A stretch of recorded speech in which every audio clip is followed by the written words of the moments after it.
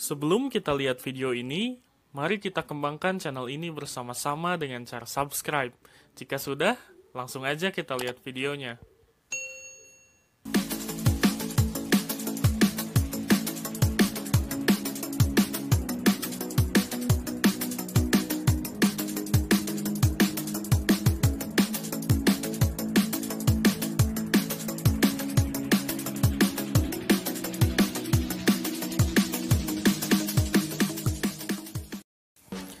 Halo kawan juru teknologi, masih bersama saya Fregi dari juru teknologi.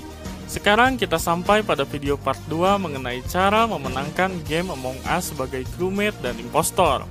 Pada video kali ini, juru teknologi akan memberikan tips untuk memenangkan game Among Us sebagai impostor. Yang pertama, kalian harus pura-pura menyelesaikan misi. Tak hanya crewmate, impostor juga dibekali dengan sejumlah misi yang sama. Namun alih-alih dikerjakan, impostor cukup berpura-pura menyelesaikan misi saja, agar tidak dicurigai oleh para crewmate. Impostor dapat mengunjungi lokasi misi dan diam tanpa melakukan apa pun. Alhasil pemain lain yang lewat akan menilai Anda sebagai seorang crewmate. Impostor juga bisa memanfaatkan peluang ini untuk membunuh salah satu crewmate. Hati-hati ya, jangan sampai tempat membunuh crewmate terpantau oleh CCTV atau kepergok oleh crewmate lain. Yang kedua, kalian harus menggunakan lubang ventilasi. Salah satu kemampuan yang dimiliki impostor adalah mampu berpindah tempat melalui lubang ventilasi. Impostor juga dapat memanfaatkan kemampuan ini untuk bersembunyi di dalam lubang ventilasi tanpa terlihat oleh pemain lain. Ketika ada crewmate yang menghampiri tempat Anda bersembunyi, Anda dapat keluar dan langsung membunuh pemain tersebut secara seketika. Jangan lupa untuk kembali bersembunyi atau berpindah ke tempat lain yang sepi. Yang ketiga, pilih waktu sabotase dengan hati-hati.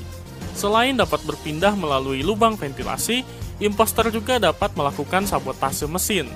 Pemain dapat memanfaatkan kemampuan ini untuk mengalihkan pemain lain. Misalnya ketika Anda telah membunuh crewmate di kafetaria, maka pemain dapat melakukan sabotase mesin di ruang oksigen O2 guna menjauhkan pemain lain dari lokasi pembunuhan. Sebagai catatan, impostor yang sudah menjadi hantu masih dapat membantu impostor lain dengan melakukan sabotase. Yang keempat, manfaatkan keramaian. Setelah melakukan sabotase, pemain umumnya akan berkumpul ke lokasi tempat mesin yang rusak. Di sini impostor dapat memanfaatkan keadaan dengan membunuh salah seorang crewmate yang tengah berkerumun. Karena banyaknya pemain yang berkerumun di satu tempat, maka akan sulit bagi pemain lain untuk mencari impostor yang sebenarnya.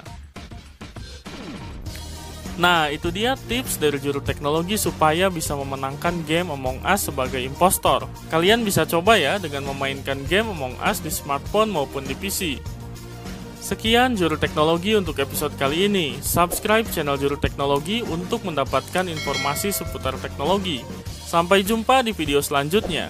Ingat teknologi, ingat juru teknologi.